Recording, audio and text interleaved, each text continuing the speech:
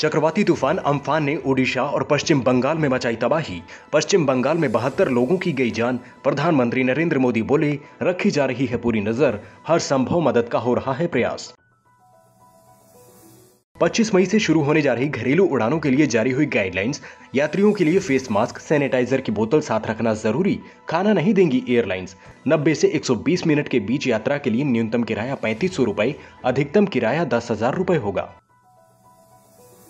कल से सेवा केंद्रों पर बुक करा सकेंगे रेलवे की टिकट। रेल मंत्री पीयूष गोयल बोले, दो से तीन दिन में स्टेशनों पर टिकट काउंटर पर भी शुरू होगी टिकट बुकिंग।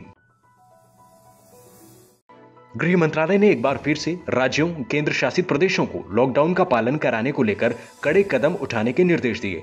गृह मंत्रालय ने कहा, राज्यों को रात के कर्फ्यू या गैर ज़रूरी गतिविधियों को शाम सात बजे से सुबह सात बजे के बीच सुनिश्चित करनी चाहिए।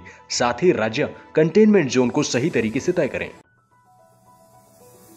देश में एक लाख बारह हज़ार तीन सौ उनसठ हुई कोरोना मरीजों की संख्या, तिरसठ हज़ार छह सौ चौबीस कोरोना के एक्टिव मामले, अब तक पैंतालीस हज़ार तीन सौ कोरोना मरीज़ ठीक हुए। पंजाब में आज कोरोना वायरस के 25 नए मरीज़ हुए ठीक, प्रदेश में अब कोरोना के एक्टिव केस 170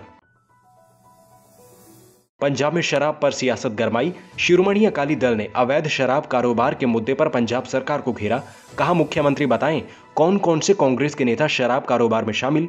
पंजाब कांग्रेस के अध्यक्ष सुनील जाखड़ का पलटवार, बोले, प्रदेश में अवैध शराब का रास्ता, शिरोमणि अकाली दल की देन। पंजाब आम आदमी पार्टी ने केंद्र द्वारा प्रस्तावित बिजली संशोधन विधेयक 2020 को बताया, पंजाब के खिलाफ प्रदेश सरकार से की फ़ौरन इस मुद्दे पर विधानसभा का विशेष सत्र बुलाने की मांग। हिमाचल में कोरोना के आज रिकॉर्ड 31 नए मामले सामने आए, प्रदेश में कोरोना के एक्टिव केस बढ़कर हुए तिरासी।